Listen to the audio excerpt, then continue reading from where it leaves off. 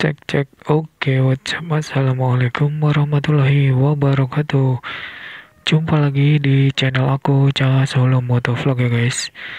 Oke, teman-teman, kali ini aku lagi di Candi Ceto dan ini adalah perjalanan pulang ya guys. Kenapa aku milih video perjalanan pulang? Soalnya untuk yang berangkat dulu udah pernah aku upload dan aku ajak teman-teman buat melihat pemandangan dataran tinggi di Kemuning ya. Candi Ceto dan maaf baru kali ini bisa riding ya karena banyak sekali kesibukan di desa uh, menyambut 17-an ya. Jadi aku vlog-vlog acara kegiatan di desa aku ya biar semakin dikenal.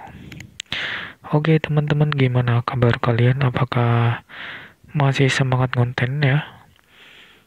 Uh, buat pemula yang mengejar monetisasi harusnya kalian lebih giat lagi ya.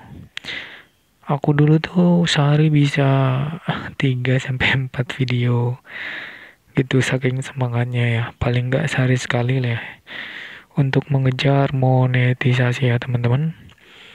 Jadi kalian harus kejar tayang ya. Dalam 12 bulan harus 4000 jam tayang. Ya untuk memulai ya berat lah ya. Tapi kalian harus tetap semangat ya guys. Ini adalah salah satu channel salah satu contoh yang dulunya memang berat juga mencari subscriber dan viewer tapi alhamdulillah sekarang berjalan sampai sedetik ini dan masih ngonten-ngonten juga ya guys dan setelah monetisasi kalian bisa bebas ya upload video bebas dalam artian bisa seminggu sekali, dua minggu sekali, tiga minggu sekali, atau sebulan sekali nggak masalah. Asalkan kalian sudah monet. Tapi sebelum monet kalian harus lebih banyak upload video. Oke dan teman-teman di Kemuning ini banyak sekali wisata ya. Wisata Karanganyar ada Candi Ceto, Kemuning Sky Hills, kemudian Candi Suko, Telaga Madirda, kemudian Watu Gambir Park. Masih banyak banget ya rumah makan rumah makan di sini juga. Kalian bisa explore dan jalan Candi Ceto adalah salah satu jalan yang paling ekstrim ya itu tanjakannya tuh lurus dan naik gitu nggak ada.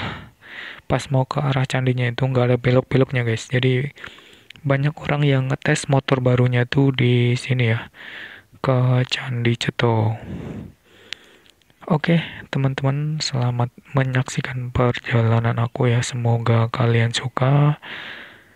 Dan buat teman-teman youtuber saling silaturahmi biar tambah akrab. Biar video kita direkomendasikan kalian harus nonton video di channel lain komentar gitu ya. Subscribe buat yang belum subscribe ya guys. Oke teman-teman. Uh, ini sudah di bawah ya.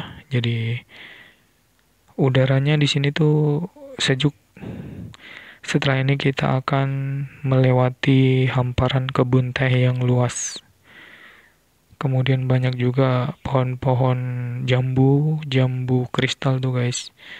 Yang bisa kalian beli kalau kalian wisata di Kemuning dan sekitarnya.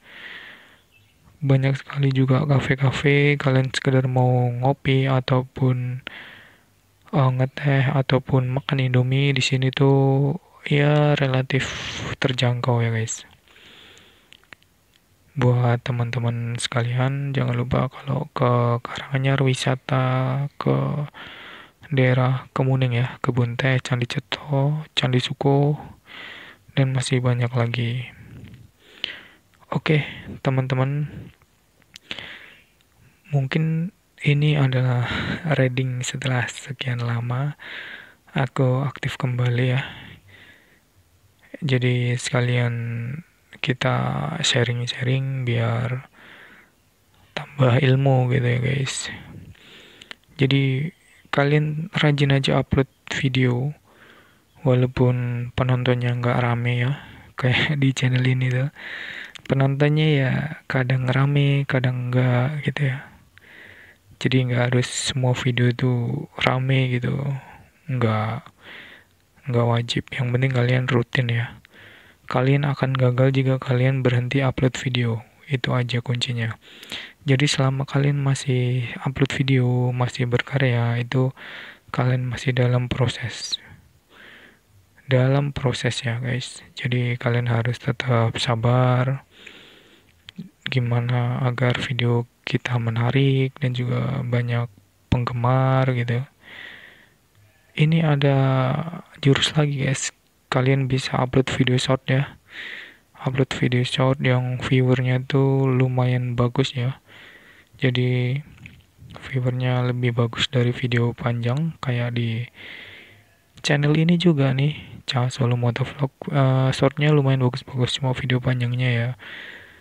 Viewernya lumayan lumayan sedikit ya. Tapi aku tetap semangat selamat menikmati. Ini adalah hamparan kebun teh yang ada di Kemuning Argoyoso.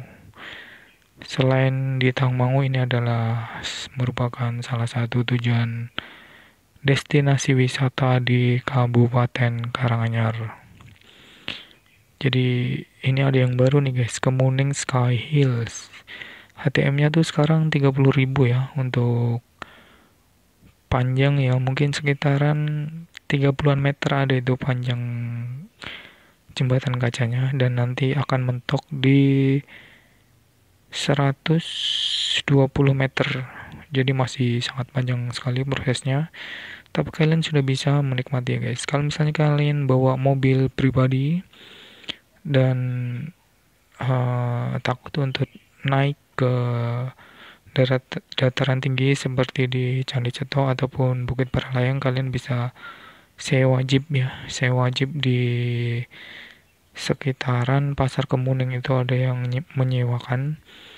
Itu relatif ya bisa empat orang. Itu kalau yang jarak-jarak pendek itu sekitar 300 sampai 400 kemudian kalau kalian mau susur sungai off-road di sekitaran sungai-sungai jalur tanah itu kalian bayar 500 ribu. Itu yang aku dengar dari kemarin penyedia jeepnya. Oke teman-teman mungkin sekian dulu ya vlog aku. Sudah sampai di sini. Jangan lupa like, comment, dan subscribe channel ini biar semakin berkembang. Assalamualaikum warahmatullahi wabarakatuh